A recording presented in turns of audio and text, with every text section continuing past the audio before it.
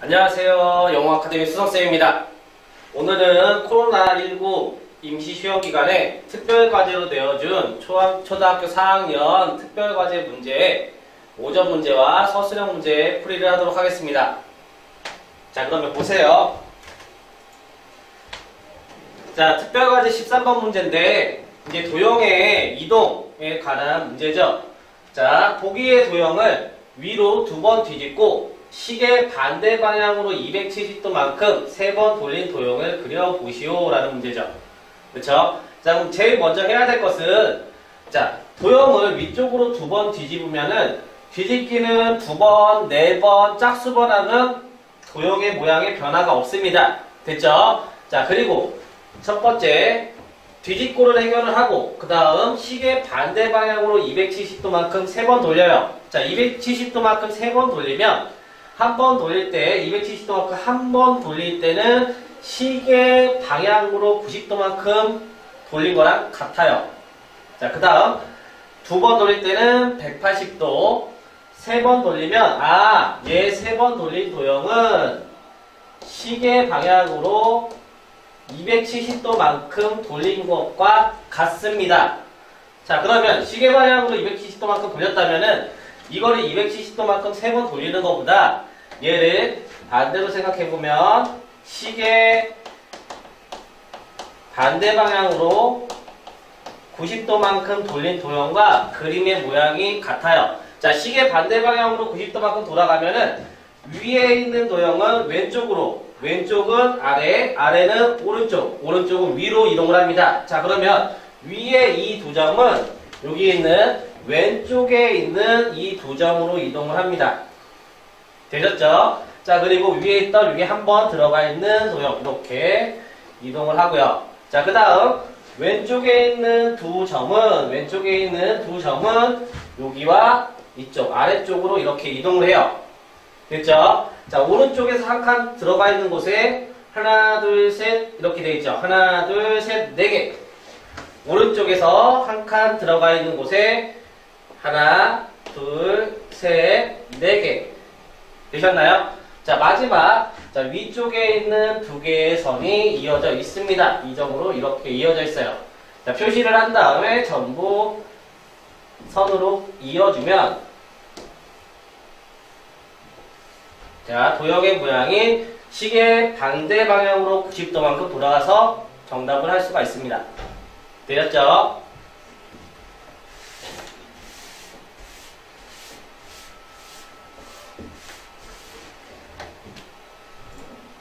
자, 다음으로는 이제 규칙 찾기의 5점 문제입니다.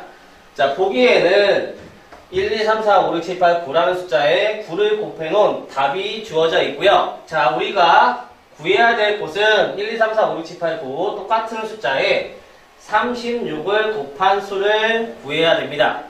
그러면 규칙을 찾아보면은 1, 1, 1, 1, 1이 쭉 있고 그 다음 마지막 0, 1이라는 숫자가 나오는데 자 여기 9를 곱했을 때 1, 1, 1, 1이 돼 있으면 9구단에서 9의 배수 9, 28, 9, 3, 27, 9, 4, 36 2배, 3배, 4배 커진다는 것을 알 수 있습니다. 자 그러면 36이라는 숫자는 9의 몇 배의 수예요? 4배의 숫자죠. 그러면 이 숫자에 4배를 한 수와 같습니다. 그래서 하나, 둘, 셋, 넷, 다섯, 여섯, 일곱, 여덟 여덟 개의 4를 써주고 다섯, 여섯, 일곱, 여덟 그리고 0 하나와 4 하나를 쓰면은 답을 해결할 수가 있어요. 되셨나요?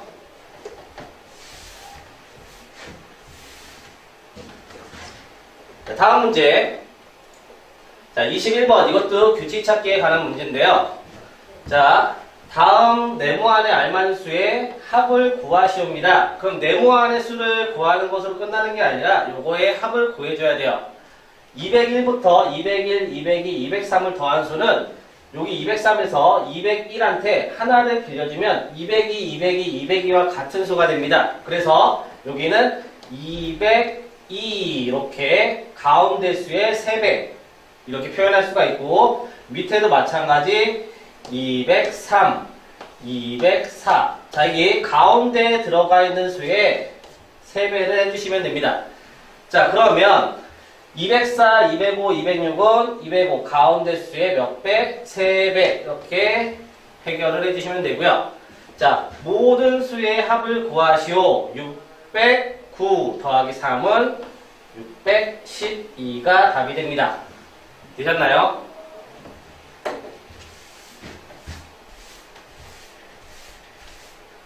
자, 다음 문제 풀이하겠습니다. 음, 이제 서술형으로 왔네요. 자, 서술형 1번 문제. 자, 서준이는 100만원짜리 수표 17장과 5만원짜리 지폐 27장이 있습니다. 서준이가 가지고 있는 금액은 총 얼마입니까? 라는 문제죠. 그럼 첫 번째, 100만원 수표 17장은 첫 번째, 100만원 수표 17장은 17 곱하기 100 해서 1700만 원이 되는 거고요. 되셨죠? 자, 그 다음에 5만원짜리 수표 27장은 두 번째 27 곱하기 5 자, 그냥 5가 아니라 만원이지 그래서 5, 7에 30, 5, 20, 135만 원 이렇게 됩니다.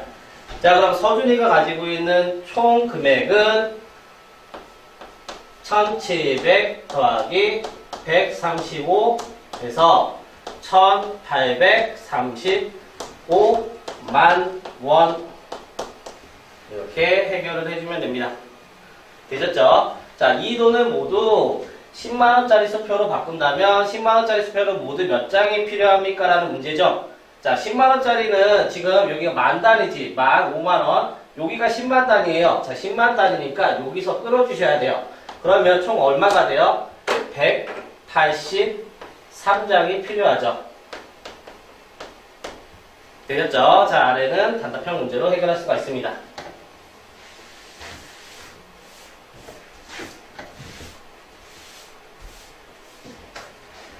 자, 다음 문제, 서술형 2번 문제인데, 자, 한 자루에 560원 하는 연필이 있습니다. 한송 문구점에서는 이 연필 7자루를 살 때마다 300원씩 할인해준다고 합니다. 자, 연필 91자루를 산다면 얼마를 내야 되는지 풀이 과정을 쓰고 답을 구하시오. 자, 연필의 금액이 한 자루에 56원, 560원 합니다. 그러니까 첫 번째, 총 금액은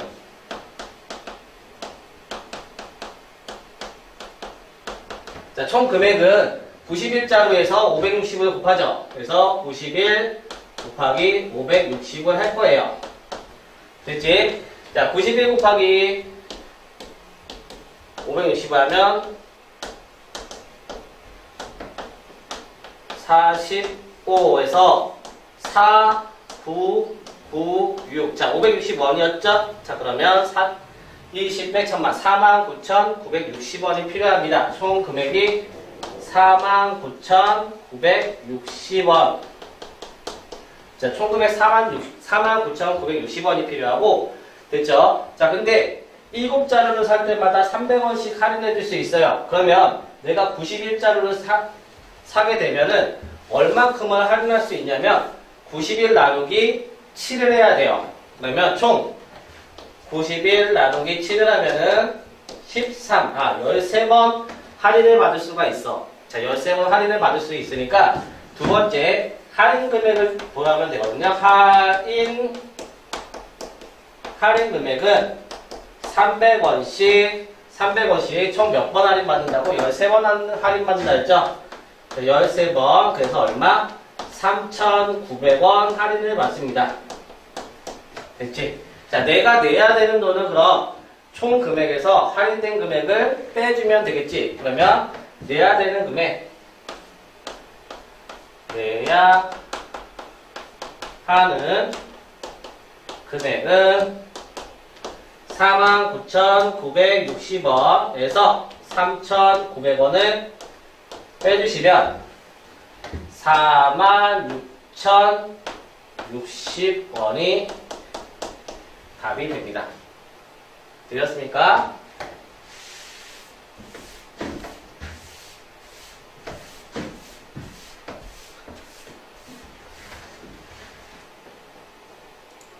자, 마지막 서술형 3번 문제네요. 자, 시운대학교 학생회에 오신 아버지와 어머니의 수를 반별로 조사하여 나타낸 그래프입니다. 부모님이 가장 많이 온 반은 몇 반인지 쓰시오 라고 되어 있죠. 자, 그러면 여기에 1반부터 4반까지 부모님이 몇 명이나 오셨는지 보고 싶으면 막대 그래프가 가장 높게 올라온 반이 가장 많이 오신 반이겠네요. 두고는 두 어머니, 아버지와 어머니의 수를 합한 값이 가장 큰 반을 찾으면 됩니다. 자, 볼까요? 자, 비교를 했을 때 1반은 지금 아버지가 8명, 어머니가 10명. 자, 그리고 하나의 쌤이 팁을 줄게요. 자, 계산을 하는 방법인데, 첫 번째, 1반은, 자, 여기 있는 두 개의 막대기를 여기다 갖다 붙였다고 생각합시다. 그럼 10, 10으로 계산할 수 있지. 합을 구할 때는, 어, 두 개를 더하는 빠른 방법을 선택을 해도 좋습니다. 자, 1반은 20명이 왔습니다. 자, 2반은, 2반은 똑같이 10명 해서 2반도 20명. 자, 3반은 3반은 어, 여기 하나 주면은 12, 12. 아, 총 24명. 자, 마지막 4반은 4반은 부모님이 여기 10과 13을 더한 23명입니다. 자, 그럼 부모님이 가장 많이 온 반은 정답 3반이 가장 많이 왔다는 걸 알 수가 있습니다. 자, 2번 문제 읽을게요. 학교에 오신 아버지와 어머니의 수의 차가 가장 큰 반은 몇 반인지 쓰고 아버지와 어머니의 수의 차가 얼마인지 구하시오. 자, 수의 차가 가장 큰 반이면 큰 수에서 차라는 말은 큰 수에서 작은 수를 뺐다는 얘기예요. 큰 수에서 작은 수를 빼면 됩니다. 아 그러면 1반부터 계산을 한번 해볼게. 자 1반 자 큰 수에서 작은 수를 빼면 몇칸 차이가 나? 아 4명이구나. 차는 4명. 자 2반 자 2반은 어 차가 어때요? 같죠? 그래서 0명 자, 3번. 자, 3번은 수혜차가 2명. 그리고 4번은 아버지와 어머니의 수혜차가 몇 명? 3명이 있습니다. 자, 이렇게 총 4명, 0명, 2명, 3명의 차이가 있습니다. 그러면 가장 큰 반은 몇 반인지 쓰고 문제 잘 읽어야죠. 됐죠? 가장 큰 반은 자 1반이 가장 큰 반이고요. 그 다음에 수혜차가 얼마인지 구하시오. 수혜차는 얼마? 4라고 쓰면 되겠습니다. 되셨습니까? 자 이렇게 해서 코로나19로 인해서 휴원하는 기간에 특별과제로 내주었던 4학년 1학기 전단원 평가 중에 쌤이 5점짜리 문제와 서술형 문제를 풀어주었습니다. 여러분도 집에서 음, 시청을 하시면서 좀 어려웠던 문제들이나 서술형 문제들은 이게 자기 스스로 풀이하는 습관을 가져보세요. 다음에 만나겠습니다.